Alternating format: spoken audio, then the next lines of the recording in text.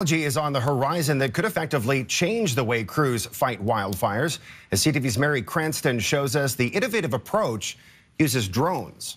Drones have been assisting crews in fighting wildfires for some time, giving firefighters a bird's eye view of the terrain, helping them determine where the fire moves next. But what if the drone was able to contain the fire, preventing it from spreading? Basically, we can attach something that's called a vortex cannon on the underside of a drone, and that sends rings of air um, that move at a fast pace towards a fire, and it pushes and pulls the fire plasma off of its fuel base and can put a fire out. BC resident Jesse Pound recently won a global competition with two other students for their groundbreaking firefighting technology. The Passion Project started from a personal connection with wildfires. My dad is a police officer, so He's often called to go help and manage these wildfires. Every year, thousands of personnel put their lives at risk to fight wildfires, often getting dangerously close. We are taking human beings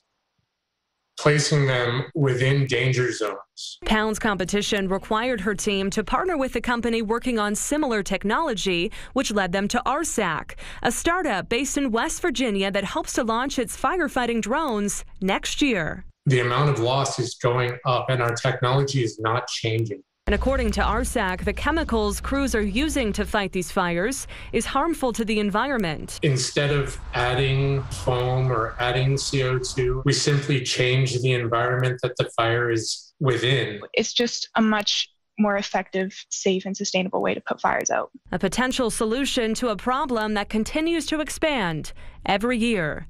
Mary Cranston, CTV News, Vancouver.